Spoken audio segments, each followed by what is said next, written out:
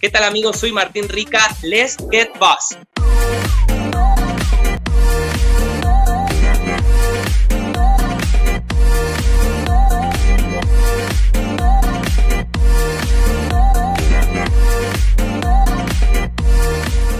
A continuación tenemos a nuestro artista Spotlight invitado de la semana, Martín Rica. No se muevan.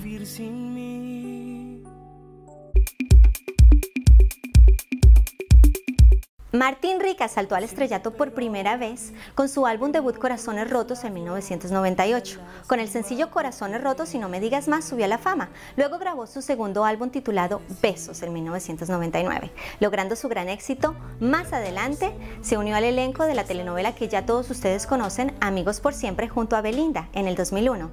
Martín regresó con su tercer álbum llamado Martín, donde comenzó a dejar atrás su imagen de galán adolescente. Este mismo año lanzó su canción conocida por todos ustedes, Enamorado de Britney Spears, que llegó a ser titular en todas las listas latinoamericanas. Después de algunos años, Martín Rica vuelve a contarnos un poco más acerca de su carrera, así que vamos a ver. Hola a todos, yo soy Jazz Girate, como siempre, trayéndoles los mejores artistas del momento. En esta ocasión tenemos a un argentino que yo estoy segura que muchos de ustedes conocen, se llama Martín Rica. Algunos de ustedes tal vez lo conocen por su participación en la telenovela con Belinda en los 90 llamado, llamada Amigos por Siempre. Otros de ustedes lo deben conocer por la canción que se conoció en muchísimos países que se llamaba eh, que se llama Enamorado de Britney Spears, que me encanta la canción, me parece la cosa más linda del mundo. Pero bueno, vamos con, vamos con Martín. Martín, ¿cómo estás? Hola Jazz, un gusto estar charlando con vos. Muchísimas gracias por este espacio. Un saludo para toda la gente que nos está viendo ahí. Muchas gracias. Vamos a empezar por la última parte. Quiero preguntarte acerca de este último sencillo que lanzaste en noviembre del año pasado. Cuéntanos un poquito acerca de esto. Bueno, esta es una canción, es una balada eh, profunda que, tiene, bueno, eh, embarca ahí una historia de amor que yo creo que todos hemos vivido en algún momento. No es una historia personal, de hecho no es una canción mía, es una canción de Fabricio Ortiz, que es un cantante de acá argentino, eh, que me hizo el favor de darme esta canción, que nos pareció la apropiada para, para sacar este, en noviembre del año pasado, que yo justo andaba de gira por México, que había regresado a México después de 11 años de no, de, bueno, de no pisar el país, de no estar haciendo nada por allá. Y, ¿Extrañaste a, tu, gente mexicana? ¿Extrañaste a tu público mexicano? Claro, por supuesto, por supuesto. Extraño mucho. México eh, es el país que me ha dado todo y me sigue dando, no solo a mí, sino a mi familia. Entonces yo voy a ser un agradecido eterno con esa tierra maravillosa y ni hablar de su gente, ¿no? Que es una gente increíble que siempre me apoya. Tengo muchos club de fans, muchas fans por allá que pasó tanto tiempo de, aquella carrera que hice en su momento, como hablabas recién, de los 90, 2000, y porque me regresé acá a mi país, y después de que, bueno, abro las redes sociales, este, un poquito tardado con esto, pero empiezo a soltar música por ahí y arranco otra vez este cariño maravilloso, ¿no? Este contacto otra vez con la gente que realmente es de no creer que pasó tanto tiempo y que sigue ese cariño intacto. Fue como poner pausa. De hecho, el año pasado que regresé a, cantar allá México, a hacer giras. Eh, es increíble el cariño, juntarme otra vez con esa gente con la que crecimos juntos, hoy ya la mayoría con, familia, este, con, niños, ¿no? con nueva generación y cantando esas canciones que, estuvieron entre nosotros en aquellos tiempos. La verdad que es una sensación muy bonita y, y solo me hace ponerle más pilas a esto, seguir sacando música, que es lo que me gusta, y sobre todo coleccionar eso, ¿no? Momentos con la gente, eh, compartir eh, historias a través de la música, ¿no? Contarles un poco lo que uno siente. ¿Cómo fue esa experiencia de volverte a encontrar con los amigos con los que trabajaste tanto en los proyectos musicales y actorales en México?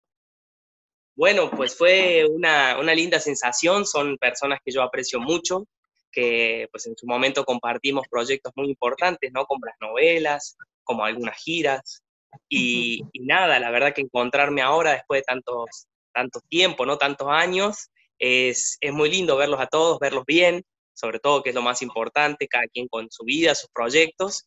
Y bueno, esta reunión también se dio el año pasado, que yo eh, fui a cantar a México, este, aprovechamos, hicimos esa, esa reunión y fue muy bonito, la verdad, encontrarme otra vez con ellos. ¿Podemos decirle a tus fans que pueden esperar un dueto con Belinda, por ejemplo? Vos sabés que siempre me, me, me han dicho la idea, ¿no? Y me, se manifiestan de esa forma, ¿no? Que quisieran escuchar tal vez eh, una colaboración con Beli o con Daniela, Luján también.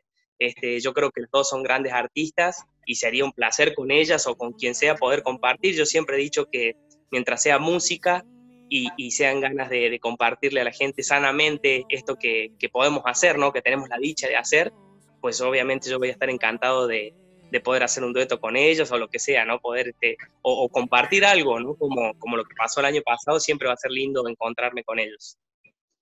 Y dime una cosa, Martín, hay mucha gente, estuve leyendo en tus redes sociales, hay muchos de tus fans que te halagan por no moverte como muchos otros artistas hacia el lado del reggaetón. Y hay otros que te dicen, bueno, ¿por qué no, no, no lo piensas? De pronto puedes hacer un dueto, algo un poco más con reggaetón. ¿Cuál es tu punto de vista acerca de esto? Mi punto de vista, siempre lo he dicho, no tengo nada en contra del reggaetón, al contrario, me parece un buen género. Creo que todo género en la música, en definitiva, es música, ¿no? Que es arte. Eh, creo que, el sol sale para todos. Eh, nos dividimos los artistas, músicos, intérpretes entre buenos y malos, pero todos tenemos algo que ofrecer, por así decirlo, ¿no? Siempre, siempre hay algo auténtico detrás de cada artista. Eh, no soy muy partícipe del reggaetón realmente porque no siento que lo voy a poder defender de, tal forma, ¿no? Yo me, identifico más eh, en el pop, en las baladas. Me gusta mucho lo latino, sin embargo, escucho mucha salsa, mucha cumbia. Eh, acá en Argentina estuve en un grupo de, cumbias y merengues. Este, la verdad que tengo un, pasado bastante eh, versátil, digamos, en el género de, de, lo que es la música, ¿no? Hablando del reggaetón, no digo que no voy a hacer, porque de hecho lo nuevo que estoy preparando, que ya próxima, próximamente vamos a estar sacando. Estoy haciendo reversiones de, canciones que fueron éxitos y lo inédito que va a venir, que los invito a que se suscriban a mi canal, que estén pendientes de mis redes, eh, tiene algo que ver con el reggaetón. Más que con el reggaetón, con lo urbano, ¿no? Con lo urbano, más bien. Eh, hemos hecho ahí una tu romanticismo que eso yo creo que es lo que tiene a todos tus fans tan, tan felices, ¿no? Tu romanticismo, e, eso tan bonito, tan elegante que llevas. Me imagino que vas a hacer una, mezcla de reggaetón romántico. Sí, o sea, en realidad lo que estamos preparando, eh, siempre conservamos esa línea, ¿no? De cantarle tal vez al amor o al desamor, como se, prestan las baladas, eh, pero más que, más que letras, siempre vamos a cuidar mucho la parte musical. Creo que lo que se viene eh, los voy a poner a bailar, pero de una, de una forma a lo mejor no tan, tan urbana, ¿no? no tan reggaetón, más tirado a más arreglos musicales, a lo latino, a la cumbia. Este, por eso estén pendientes que, que, ya se va a venir lo nuevo, me va, va a ser un placer compartirlos. Estamos en eso, estamos terminando, estamos terminando de, trabajarlo eh, y con mi equipo de, trabajo, ustedes saben que eh, todo esto que estamos viviendo de la pandemia, obviamente hoy podemos decir mañana y mañana no sabemos qué está pasando, ¿no? Entonces por eso nos hemos retrasado un poquito. De hecho, si no fuera por esto que está viviendo el mundo, yo ya andaría por México, seguimos, o sea, siguiendo con las giras y todo esto, seguramente ya tendríamos lo nuevo. Pero bueno, estamos eh, ya, estamos por definir próximamente una fecha para poder este, compartir con la gente todo lo nuevo que estamos haciendo, que de verdad estamos preparando un montón de sorpresas. Bueno, pues estoy muy, muy, muy segura de que a la gente le va a encantar. Además que es increíble cómo a través de, a pesar de que han pasado tantos años, has tenido tan buen recibimiento de tu público, ¿no? No se olvidaron de ti, no se olvidan de ti. La gente te adora, no solamente en México, en Latinoamérica también. Sí, la verdad que te digo, yo soy un agradecido total de, la respuesta de la gente, del cariño, de la memoria de la gente, ¿no? De ser parte de, esas memorias de la infancia, de la adolescencia, de, poder haber marcado a lo mejor una generación con la música, ¿no? Con las novelas. Eh, creo que soy un afortunado de, conservar ese cariño. Eh, hasta el día de hoy no puedo creer que, te digo, pasó tanto tiempo que yo me ausenté, me dediqué a otra cosa prácticamente y, y regresar y, que ese cariño esté intacto, hablando de México, y no solo de México, como dices, ¿no? de todo Latinoamérica. Recibo mensajes hasta de Indonesia en mis redes sociales de, muchos fans, de, bueno, tratan de expresarse, ¿no? En, eh, eh, a través de las redes con, con, mucho cariño, que vieron las novelas, que les gusta lo que estoy haciendo ahora.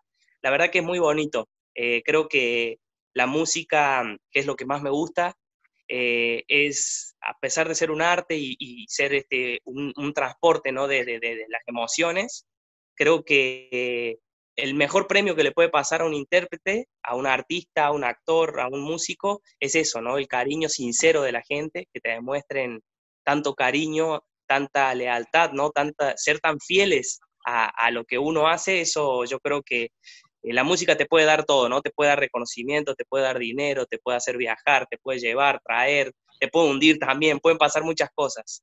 Pero el cariño de la gente, esa respuesta no es eh, negociable, digamos, ¿no? Eso es algo divino, algo que realmente yo me siento muy afortunado y que lo voy a agradecer siempre, eh, cada vez que pueda a través de una cámara, cada vez que veo a la gente, cada vez que tengo contacto, lo agradezco mucho, pero sobre todo de la forma más natural que tengo, que es a través de la música, por eso sigo haciendo música, por eso regreso, por eso estamos con muchas ganas de seguir compartiendo momentos y música con, la gente, ¿no? Eh, muchísimas gracias, Martín, muchísimas gracias por acompañarnos el día de hoy. Vamos a estar esperando lo nuevo que viene, esperemos que con la crisis del coronavirus, bueno, podamos movernos un poquito más rápido y que todo esto pase. Gracias a todos eh, los que están en The Boss viendo nuestro programa. Te mandamos un beso y bueno, lo que quieras decirle a nuestro público. Bueno, muchísimas gracias por, por este espacio a ustedes, gracias por la entrevista, Jazz, muchas gracias. Espero que estén muy bien, cuídense mucho con todo esto que está pasando. Eh, tratemos de, de, regresar cuando esto, esperemos que pronto no se recupere todo, que, que volvamos, no sé si a la normalidad, porque ya va a ser difícil, pero cuando volvamos seamos mejores y yo prometo, apenas tenga lo nuevo, compartírselos, ya, este, ya sea en una entrevista o como sea, pero va a ser un placer eh, mostrárselos y compartirlos sobre todo. Así que muchas gracias por el espacio, por esta entrevista, a toda la audiencia que nos está viendo, muchas gracias. Y nada, desde acá de Argentina les mando un abrazo sincero y fuerte. Muchas gracias.